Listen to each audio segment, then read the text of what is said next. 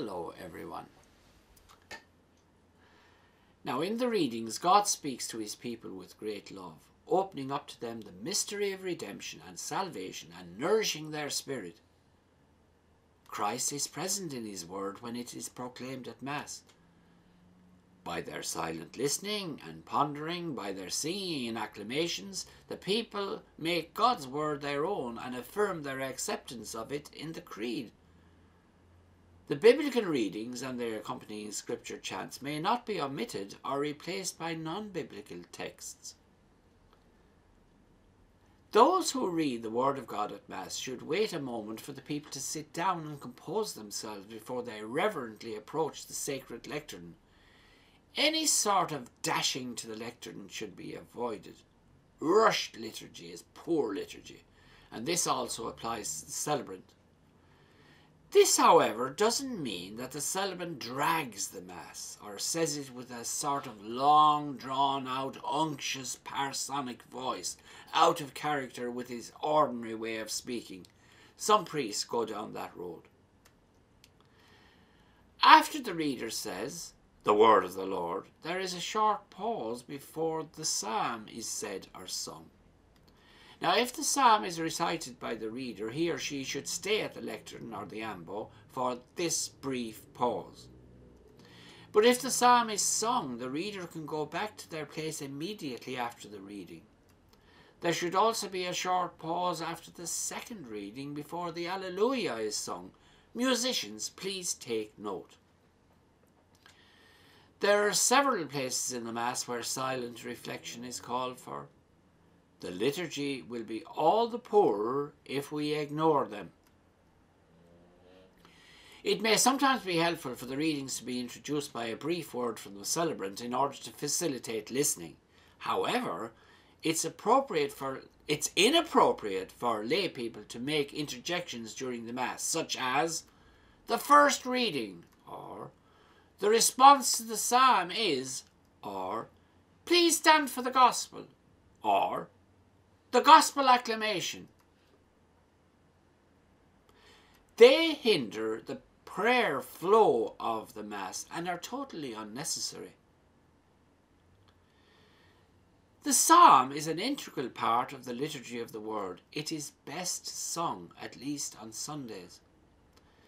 The psalms, which come from the Old Testament, were used by Christ himself in prayer. Appropriate psalms have been selected to help the assembly to meditate on and respond to the Word of God in the first reading. The standard procedure is that the cantor sings the prescribed psalm from the lectern, and the whole assembly comes in on the sung response. It should not be altered or replaced by a communal hymn or some other sort of medley where the words, howsoever beautiful, are at variance from those in the lectionary. It's best to refrain from tampering with God's word.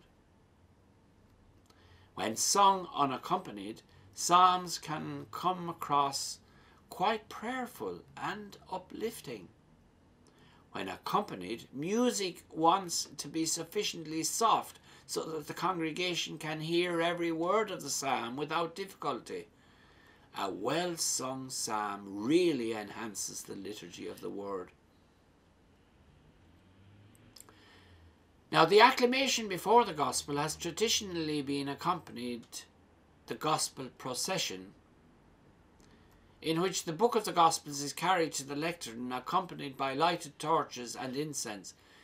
This acclamation chant is sung by everyone present. The verse may be sung by the cantor or choir or even recited by the congregation. The gospel is the high point of the liturgy of the word. It is reserved for the deacon or the priest. While bowing before the altar, the priest says a quiet prayer before he proceeds to read the gospel. The book of the Gospels may be incensed before the reading, and after the gospel, as he kisses the book, the priest says quietly the following words through the gospel, the words of the gospel, may our sins be wiped away. To highlight its importance, the servers may stand with lighted torches at each side of the lectern while the gospel is proclaimed. The celebrant or deacon should refrain from holding aloft the book of the gospel when he says, The gospel of the Lord. The gospel is in the proclamation, it's not the book itself. The homily is an integral part of the sacred liturgy.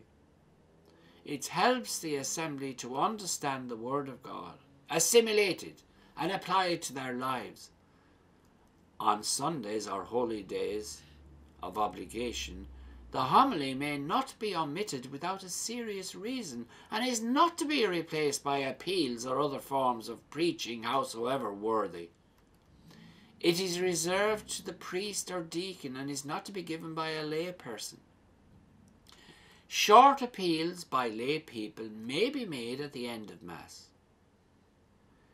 It's most appropriate that a period of silence follows the homily so that the people may take the word of God to heart. The homily may be given either from the lectern or from the priest's chair. Homily is given when the priest or deacon is moving up and down the aisle should, in my books, be avoided. For a start, the people to the back of the priest can't hear what he's saying, and if the priest is moving back and forth, it makes it difficult for the people to concentrate.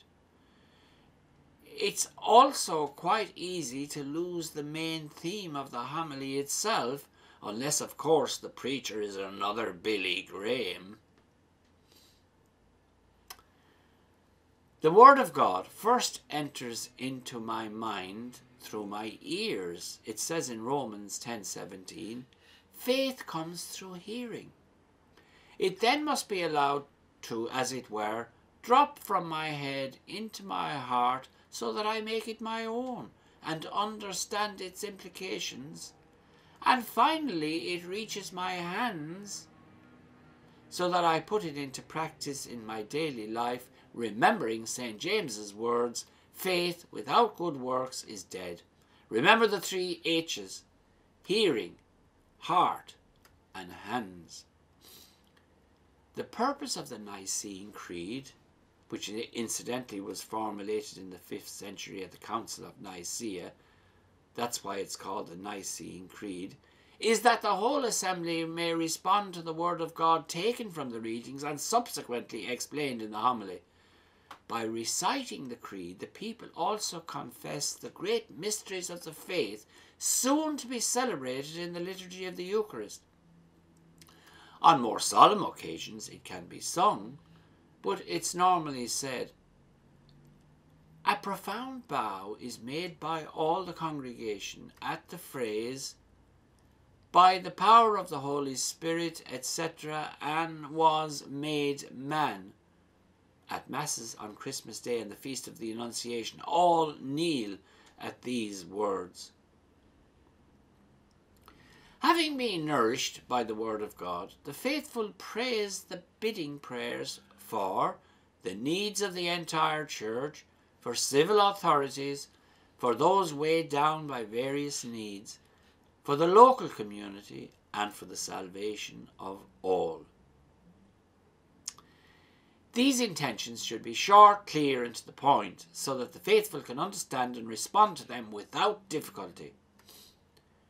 After the intention is announced, there should be a very short pause before the reader says, Lord, hear us, which along with the response may be sung.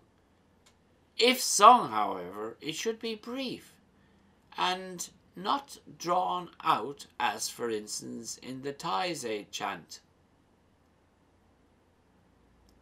Thank you all very much now for listening, and God bless you all.